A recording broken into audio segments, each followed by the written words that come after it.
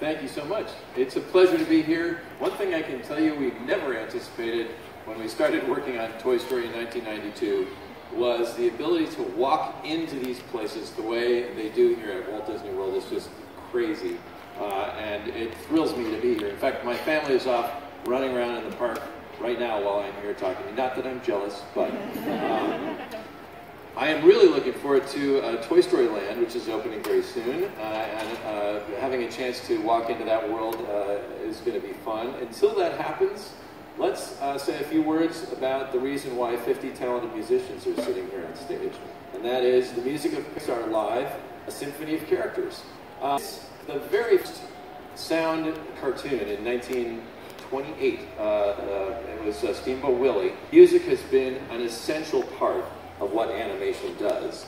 And though we today use computers instead of pens and paint, uh, it is no less important for two reasons. One, even as you're sitting here today, it's impossible not to get a little tingle when that music starts to play. I mean, it's just, there's something about music that allows you to feel and, and communicate emotions in ways that we can't just by speaking.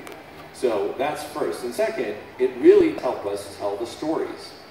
Um, the storytelling comes through in the music, and that was our primary focus in creating this program, was uh, allowing the music to kind of get a little uh, uh, forward uh, thrust here and to showcase the amazing stuff that our talented uh, collaborators uh, like Michael Giacchino and Randy Newman, etc., the amazing music that they've created for our films.